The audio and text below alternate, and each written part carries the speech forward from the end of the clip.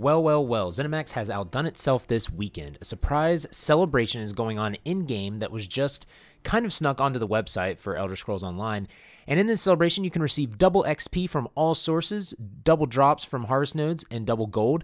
So in this video, I'm going to explain to you all you need to know about this celebration, including the best places to farm, how to set your character up for success for that, best methods of XP gain, and all details regarding the celebration. And again, you can always ask me questions at my Twitch streams on Monday, Tuesday, and Thursday at 8 p.m. Eastern Standard Time on twitch.tv slash this, and you can join our Discord and guilds for help as well. The link to the Twitch and the Discord is in the description.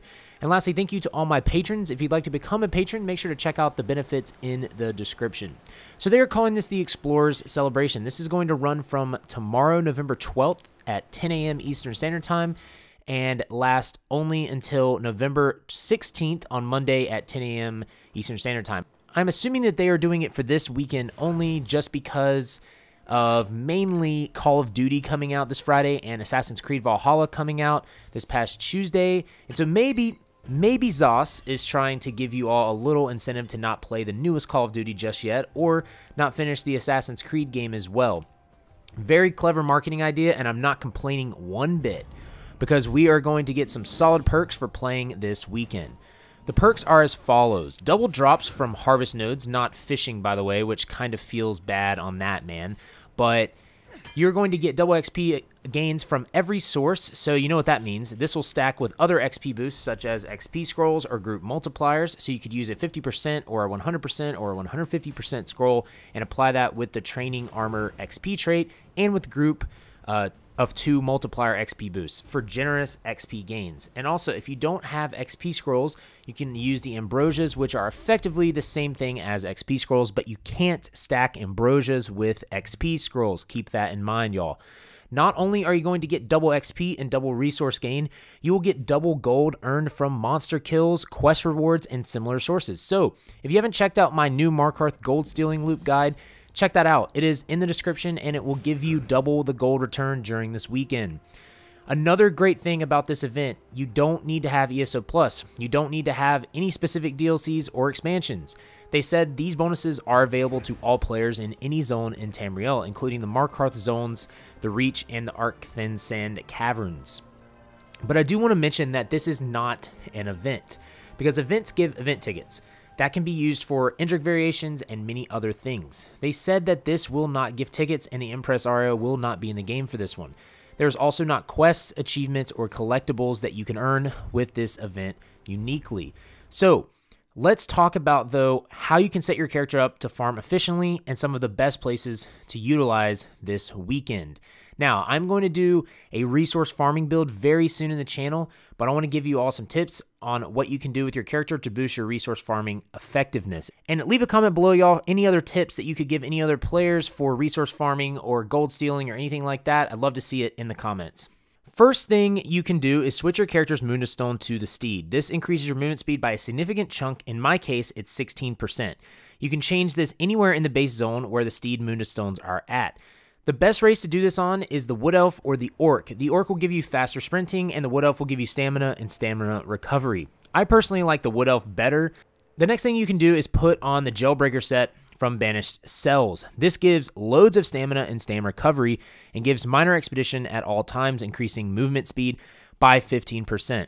And if you have it, grab the Ring of the Wild Hunt. This allows you to have 45% movement speed outside of combat. This already gives you an insane speed boost, and you don't even need to sprint. And another thing you can do is if you are CP levels, is go to the lover tree and put points into the lover tree until you have 120 points in there. That's like the green side of the champion point tree. You want to get the Plentiful Harvest, which gives 10% chance to yield double resources, Master Gatherer, which reduces your gathering time by 50%, and Wind Running, which gives 2% speed boost for movement speed and mounted speed. Also, Rapid Maneuver from the PvP line is also really good for speed boost while running or mounting. And I don't have the Rapid Maneuver morph. I've got the other one.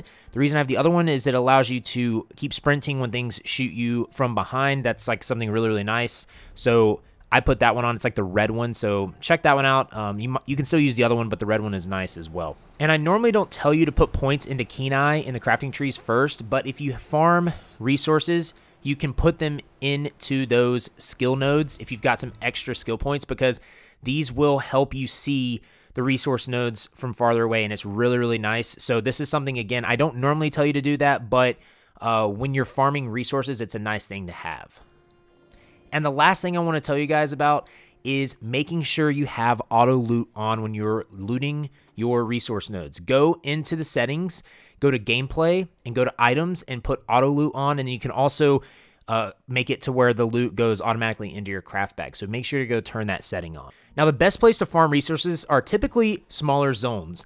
The best one would be Artaeum in the Somerset expansion DLC. This is accessed by doing the Somerset questline up to a point where you can get access to the area, which I believe is after the second quest. This is the smallest zone and fastest place to farm. Other notable zones are Bane, Gold Coast, and starter zones like Betnikh, Khenarthi's Roost, and Bal Foyen. Those starter zones are very small, and they are really, really solid to farm resources at.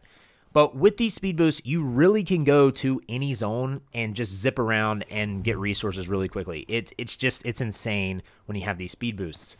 Now, for double XP, some good methods include, but aren't limited to, doing your random dungeons and battlegrounds each day, doing Alik'r Dolmens, and these are great generally because it's double XP on kills and from getting the dolmen completion.